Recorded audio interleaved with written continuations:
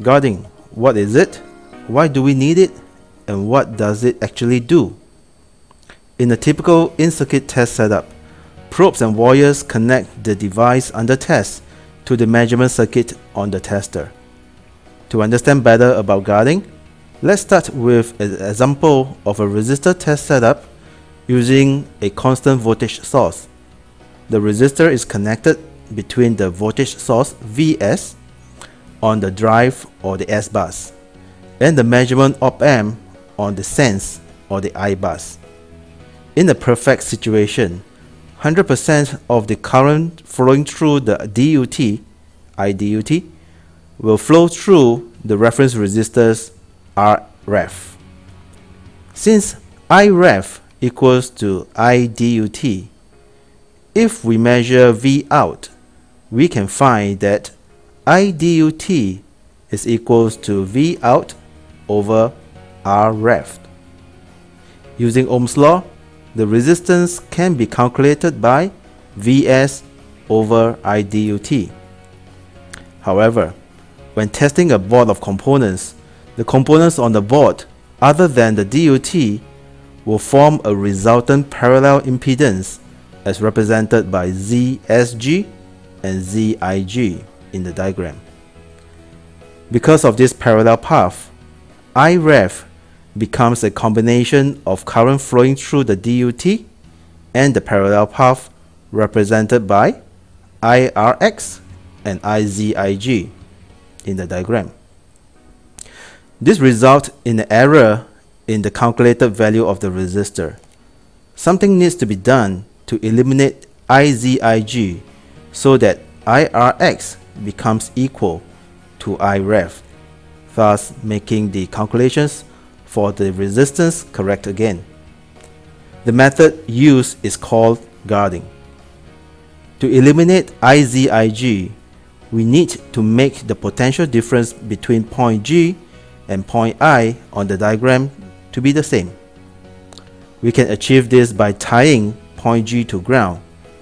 Since the negative input of the MOA is virtual ground, the positive input will also be. So, if both point G and I are ground, there will be no potential difference between the two points and therefore no current IZIG. This method to tie a point within the circuit on the board temporarily to ground is called guarding.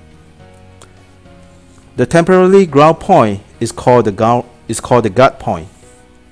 This method is implemented during test debug the test engineer will find in the schematics points across adjacent components to the DUT so that he can place guard points and define them in his test. The tester will automatically place relevant resources to ground that point during the test.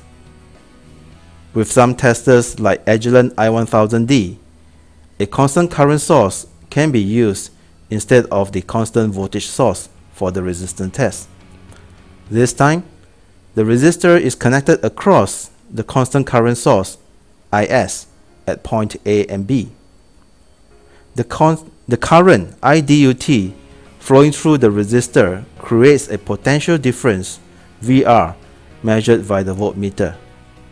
In this way, assuming IS equals to IDUT, the resistance can be calculated by Vs over IDUT. Considering other components on the board, they form a resultant parallel impedance as represented by ZA and ZB in the diagram. Similarly, as in the case of constant voltage source, there is a leakage IA from the source current into the parallel path.